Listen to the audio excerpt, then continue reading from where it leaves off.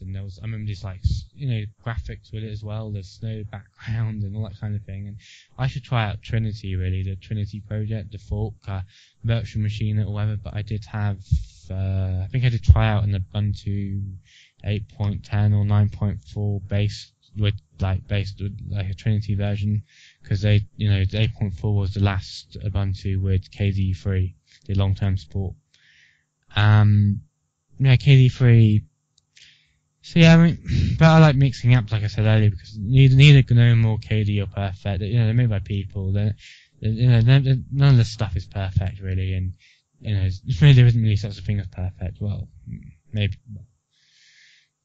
Obviously, the religious people, I like, you might think, of, well, maybe God is perfect if there is one or whatever. Let's not. But anyway, religion. But um, so, uh, um, so yeah, there's nothing. You know, nothing There is more room for improvement if you just. there's al- there's more improve. it's it's, it's better that nothing's perfect because you, You- can always move forward. yeah, none of this stuff is perfect. It's all made by people, and it's you know it's not KD KD And I think even if you reach something that's considered to be optimal in some way, there will be a person saying, "Well, we need to try something else." and even if it's something is uh, apparently because perfect. because there will be the aspiration to be uh, either unique or to have a different need from somewhere. So even when it comes to color of clothing or logos or uh, you know all kinds of distribution wallpapers, you can never satisfy everyone. No, no, it's true.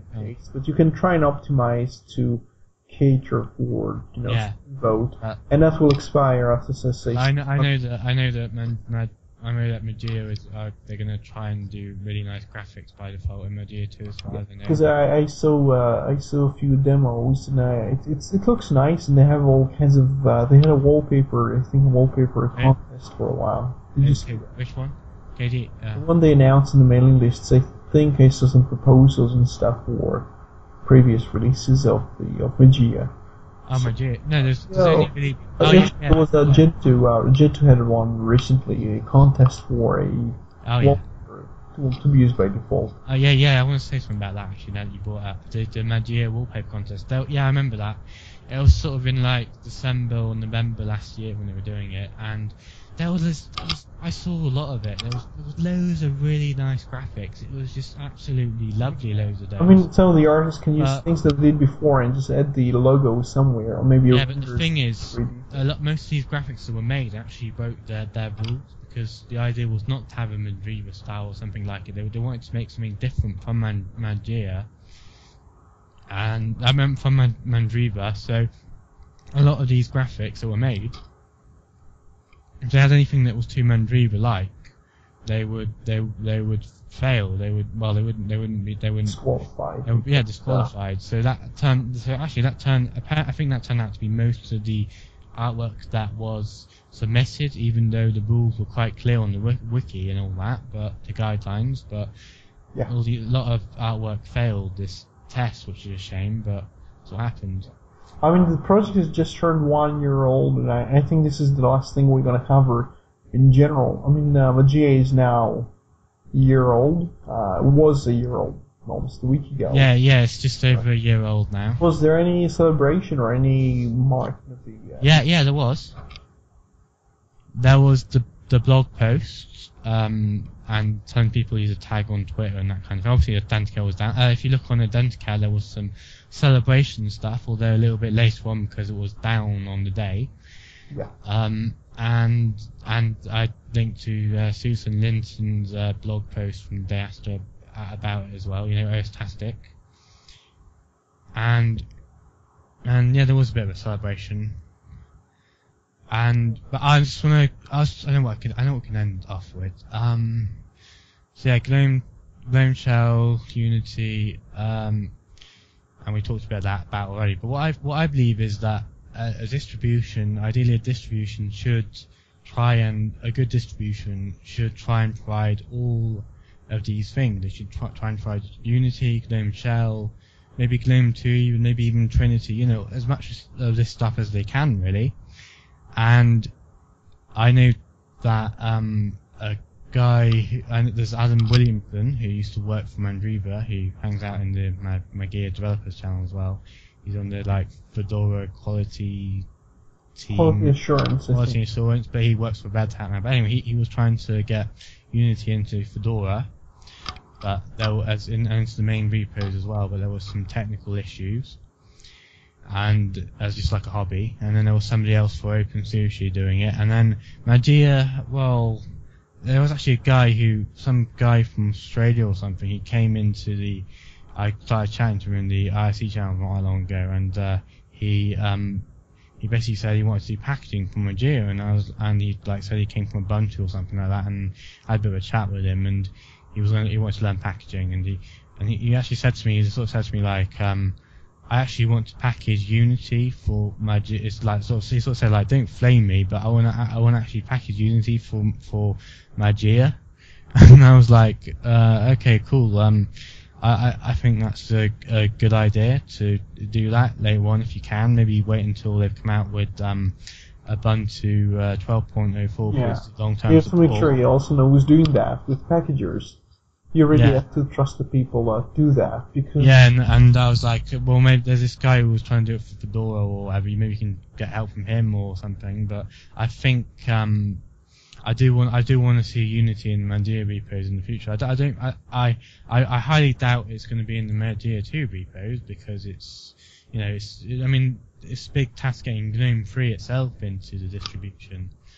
You know that's a big task as well. Or, I think I'm not a developer, but they've got to do whatever with that Yeah. and then uh, d- d- Unity um, and may- maybe later on would end up in Mageia repos, and I think more distributions will um, ship. U- they will put Unity in their repos as an option as time goes on, as more.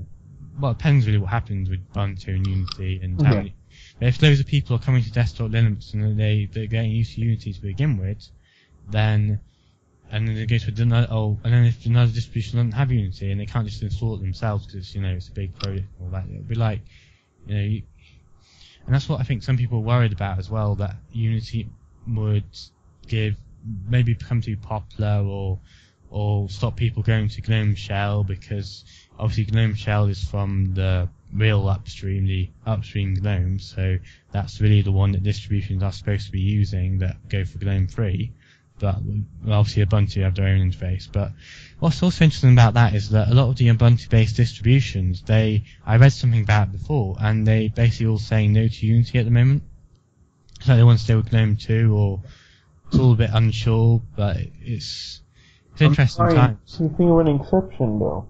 Any uh I think quite a few of them are moving away from the um no, I can think of a few that might be using it, but probably not any prominent ones. The, the ones that you hear about, the ones we talked about before, including those that are quite popular, like the like Mint and Bodhi Linux and uh, they, they don't try seem to have any interest in Unity, and in fact, some of the developers behind these things have expressed dissatisfaction with Yeah, exactly. it again, and they basically did try to just stick around with you know whatever Ubuntu is offering, and they also saw there is a market uh, among these distributions for people who aren't too happy with the changes, uh, and maybe they thought, well, we could just uh, I, I, yeah, exactly. I think Linux Mint is gonna. What I think is that this is my prediction. I, I, it might be completely wrong. It might be right. We will find out as well. We'll start to find out soon. But this is my.